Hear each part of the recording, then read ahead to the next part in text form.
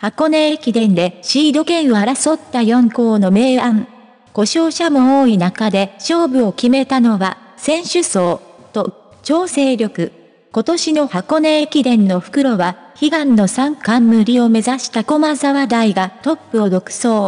2位の中央大も単独走になり、最終的に3ケラ8位でゴールすることになる6校が一つのパッケージになった。そして東京国際大、城西大、東洋大、明治大の4校が10位前後でレースを繰り広げた。白熱のシード権争いは最終10区で並走した城西大と東洋大が9位と10位でフィニッシュ。一方、前回5位の東京国際大は11位で4年連続のシード権に届かず、区間賞を2つ獲得した明大も12位に終わった。4校によるシード権争いはどこで明暗が分かれたのだろうか。まずは、民から。2年ぶりの出場で5年ぶりにシード権を獲得した城西大は、往路を9位で折り返したのが大きかった。串部誠治駅伝監督は、4区が終わった時点で悪くて12位。5区で逆転して8位。袋は粘って順位をキープしたいと話していったが、ほぼイメージ通りのレースになったのだ。昨年11月の激犯最速王決定戦、上りの部を制して注目を浴びた斎藤正也、1年が2区を担って区間15位、初駅伝となるビクター・キム対1年、破産区で区間11位とつまずいたが、4区終了時で13位につけた。そして5区山本由衣賞、3年が期待通りの回走で区間新記録を樹立。往路9位でゴールに飛び込み、最後まで順位を争うことになる11位の東洋大に1分34秒の差をつけた。城西大は袋も10位と確実な軽装を披露。8区桜優が1年が格上の明大加藤大成4年に並ばれた後、終盤まで食らいつき10位でタスキをつなげたのもポイントだった。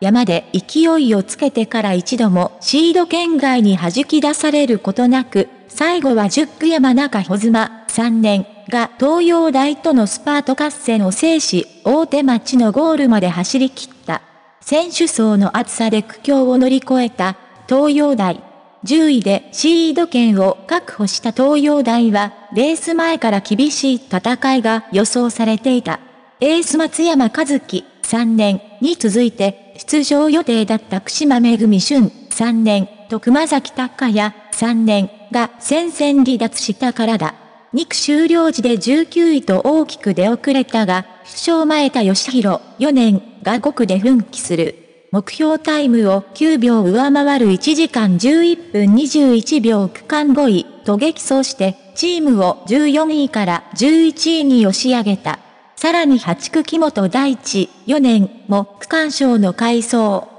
7区終了時点でシード圏内まで1分45秒あった差を33秒まで詰めると、9区梅崎蓮2年が東京国際大と城西大をかわして9位に浮上。最後は3年連続のアンカーとなった清野太志雅4年が18年連続シードを死守した。坂井敏之監督は苦しい2日間でした。12月に入り、コロナとインフルエンザ、さらに疲労骨折者も出たんです。練習が抜けている選手を起用せざるを得ず、ちぐはぐしたオーダーになってしまいました、と振り返った。チームは危うい状態だったが、昨年5月の関東インカレで1万メートルとハーフマラソンでトリプル入賞を果たした選手たちが層の厚さを見せてカバーした形になった。次は、アン。東京国際大は今季、故障者が多発して苦しい戦いが続いていた。出雲駅伝は前年 V メンバー4人を書いて8位。全日本大学駅伝も、イエゴン・ヴィンセントと山谷正也、共に4年の欠場が響いて11位に終わった。箱根では主力が復帰し、山谷が2年連続の1区区間10位を務めると、ヴィンセントは4区で区間新記録を樹立。しかし、うまく流れをつかむことができなかった。往路優勝を目論んでいたチームは往路を7位で折り返す。袋は6吉住総2年で9位、7区山岸修斗、2年で11位に転落。前回9区で区間9位だった首相宗方清4年も8区で区間19位に沈み、シード権に1分32秒届けかなった。明治大は前年に続いて、デコボコのレースに、故障者を出すのが怖かったのと疲労感があるということで詰めきれなかったのは反省としてあります。ネト大志田修二監督。出雲と全日本でメンバーが揃わなかったため、選手たちのギアを上げきれなかったようだ。日本人エースの誕生権、4年、ハニクで区間11位、ヴィンセントも絶好時と比べると爆発力が足りなかった。また、前回の6区と7区を構想した林優作、3年、ととみながまさき、2年を書いたのも痛かった。予選会を2位で通過した明大は、前回大会に続いてデコボコのレースになった。一区富田俊平4年が区間賞と絶好のスタートを切るも、2区小沢大輝4年は区間14位で13位に転落。確実に区間10位以内で繋いでいきたいと考えていた山本祐希監督の思惑は序盤で崩れた。往路を12位で終え、袋は七区やや分解3年の区間賞もあり、8区終了時で9位につけた。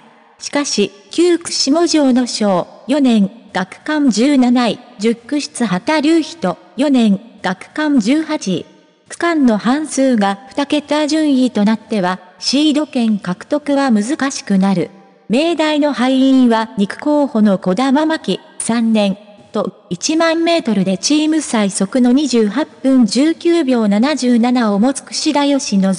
4年を故障で書いたことにあるだろう。特に小玉は地元を走る2区で1時間7分切りという目標を立てていた。4区を希望していた小沢、前回4区7位が2区に入るなど、当初想定していた区間配置が大きくずれ込んだことになる。山本監督は最後の調整のところで2人欠場となってしまった。トータル的なマネジメントがちょっと足りなかったと語った。上位を狙える戦力がありながら、チームのポテンシャルを引き出すことができなかった。シード権争いも優勝争いと同じで、階層よりもミスを最小限に抑えた方が有利になる。チームトップ10の実力よりも、選手層の厚さと指揮官の調整力が大きいと言えるかもしれない。坂井正人丸文テクスト by 坂井正人。ご視聴ありがとうございました。素早く最新情報をもらえるように、チャンネル登録ボタンをよろしくお願いいたします。ありがとうございます。